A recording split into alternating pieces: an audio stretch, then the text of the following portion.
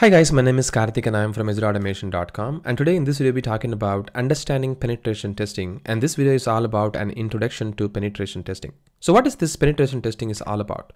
Well, penetration testing is a proactive security practice during which a cybersecurity professional endeavors to discover and exploit vulnerabilities within a computer system. So basically, this penetration tester is going to help us identify the potential weak point within our system's defense mechanism that the malicious attacker could potentially leverage for their advantages.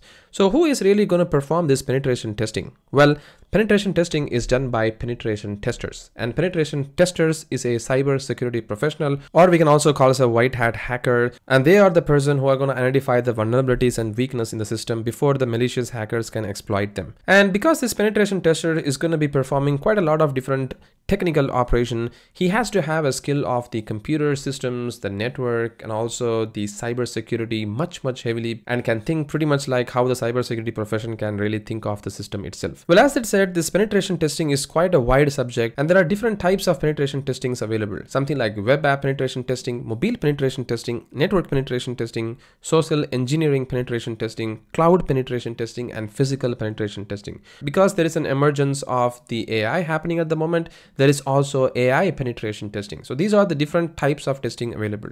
So if you're looking for a specific penetration testing to be done, for example, a web app, then you gotta be choosing the web app penetration testing.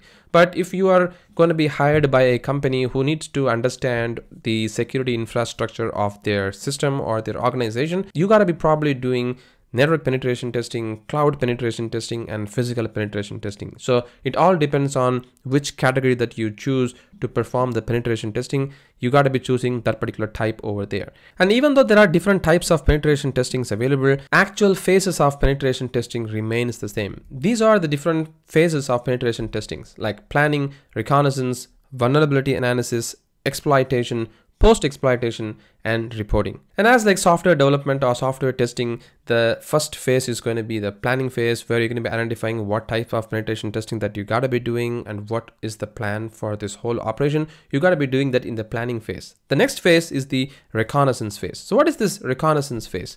Well the reconnaissance phase is the first phase where we're going to be gathering as much information as possible to understand the target infrastructure, potential vulnerabilities and attack surface so that we can really use this information for the subsequent step to analyze what can be done to understand the security issues within our system or to strengthen our security of our system. And again, this reconnaissance can be done by two types. One is the active scanning and another one is the passive scanning. And what is this active or the passive scanning? Well the passive scanning is mainly to monitor and analyze the network traffic dns queries and publicly available information to gather insights about the target without actively sending any traffic or initiating the connections on the actual system. Some of the tools that are available for this passive scanning are like wireshark nmap Shodan the harvester Metasploit framework or the SpiderFoot. And the next up is going to be the active scanning. As it names, active scanning involves the actively probing a target system or network by sending the network traffic such as packets, requests, or probes to identify the vulnerability and potential security weakness within the system. And there are many tools available and some of the most famous tools are like Zap, Nmap, Burp Suite, DNS Recon, DNS Enum, Sublist3r, etc. I mean, there are many different tools available, but I have just listed a few of them which can do the active scanning for you. And I can quickly show you an example of the active scanning over here. So all you gotta be doing it in here within this Kali Linux is that, so Kali Linux is one of the most famous operating system which can be helpful for you, which you can use for doing penetration testing because it has got so many different tools which you can really use to perform the penetration testing and you can see all the different phases that I was talking about like the reconnaissance, vulnerability analysis, web application analysis, and exploitations, sniffing and spoofing, post exploitation, reporting, every single information that you need is all available in the Kali Linux over here.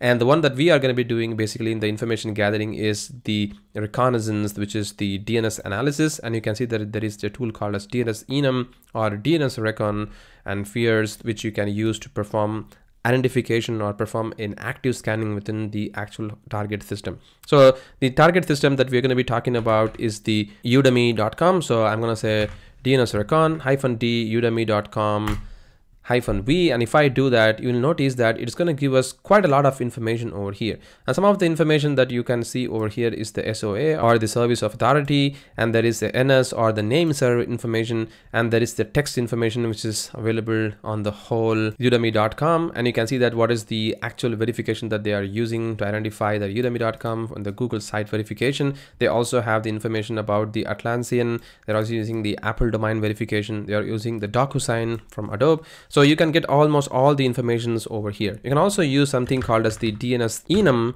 which is going to give you even more information, which is going to be pretty much like a categorized information that you can see over here. So you can see that this is the host name and this is their IP address. And then you can also see the wildcard detection. And you can also notice that there is a name server information that they have hosted everything in the Cloudflare. And this is the mailing server that they have. And these are the actual IP address that you can grab so that you can then further perform other operation using these IP address to see if there is an open port or something like that. So this is the first and the foremost thing that we can do using the active scanning using reconnaissance. And there are even more tools available, something like the DRB, and then you can specify what that you gotta be doing. But again, you got the idea of how you can do the reconnaissance using active scanning in penetration testing. And that's about the active scanning. And the next step is the vulnerability analysis. And in this phase, the penetration tester will analyze the possible vulnerabilities the system poses. And here the penetration tester will actively verify all the possible ways the system can verify how the system can be penetrated.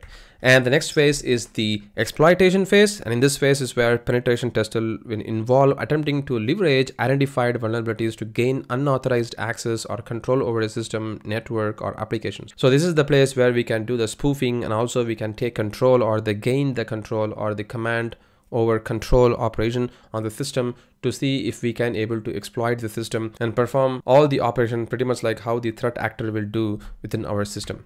And then finally, the post exploitation and reporting is the phase where we're going to do all the incident recording of how the system was tried to be hacked and what are the different vulnerabilities that we have within our system or the security gaps that we have within our system so that we can just understand everything, incident them, report them, and then present it as a report so that the company can really use that to increase their security of their organization or system within their organizations. So this is a super, super high level of what is penetration testing, what are penetration testers job, and what are the types of penetration testing and what are the phases of penetration testing.